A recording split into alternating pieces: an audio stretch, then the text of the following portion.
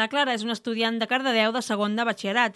Quan arriba al cap de setmana, tant ella com les seves companyes volen desconnectar dels exàmens, treballs i del treball de recerca. Després d'un dia d'estudi, on va la Clara per evadir-se de la rutina? Normalment cada setmana ens quedem per Cardedeu a aprendre alguna cosa, normalment al Tarambana o al casino perquè és l'únic que hi ha, i a tant en tant fem alguna festa així més gran eh, per desconnectar una mica. Així doncs, el Tarambana i el casino es converteixen en punt de trobada dels joves per prendre alguna cosa i patar la xerrada. El Casal de Joves proposa activitats encarades al públic més jove. El Centre Cultural de Cardedeu i les Baix Verdi segueixen proporcionant les seves sessions de teatre i cinema. Aleshores, què hi falta a Cardedeu?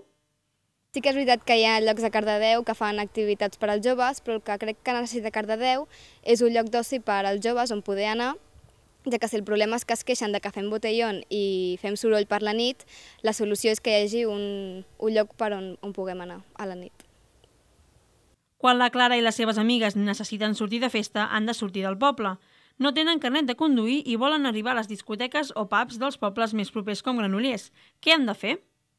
Eh, quan marxem fora per anar de festa, normalment anem a 2046, així, o a Millennium, per exemple, i anem o ens porten els pares o anem en bus. Eh, el bus està molt bé perquè, per exemple, per anar a Granollers eh, hi ha un bus cada cada hora i després, a la nit, quan s'acaben, ja comencen amb els trens.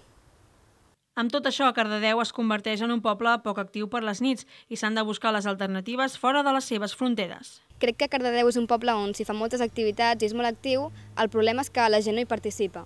I crec que si s'involucrés més en aquestes activitats, Cardedeu podria ser un poble més actiu i més viu.